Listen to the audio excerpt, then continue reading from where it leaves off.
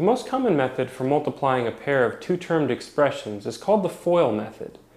FOIL stands for first, outside, inside, and last. And it describes the order in which you multiply each pair of terms.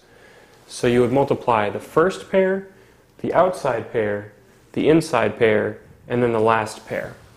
So that's the order in which we'll proceed here. First pair is going to be 3x times 4x, which gives us 12x squared. The outside pair is 3x times negative 2, which gives us minus 6x. The inside pair, 6 times 4x, gives us a 24x. And the last pair, 6 times negative 2, gives us a minus 12. Uh, we need to combine like terms. We have two x's here, so we'll go ahead and combine those.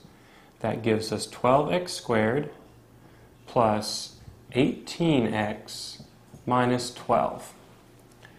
Now each of these numbers is a multiple of 6, so we can pull a 6 outside of this expression, and that gives us 2x squared plus 3x minus 2. In this second example here, we have a three-termed expression and a two-termed expression. So we can't use, we can't strictly use the FOIL method, but we'll use an extrapolation of the FOIL method. The FOIL method takes the first term in the first expression and multiplies it in order by each of the terms in the second expression. Then moves on to the second term in the first expression and multiplies it by each of the terms in the second expression. So to extrapolate that to a three-termed expression, we'll start with the first term, move to the second term, and then move to the third term.